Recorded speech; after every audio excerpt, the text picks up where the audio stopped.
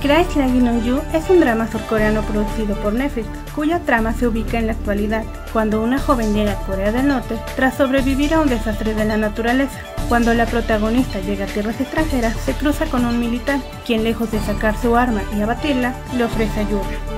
La producción registró altos índices de audiencia durante su transmisión, pero según la BBC, los medios de comunicación en Corea del Norte emitieron radicales comentarios sobre las últimas películas y K-dramas por incluir en su trama la vida que llevan en su país.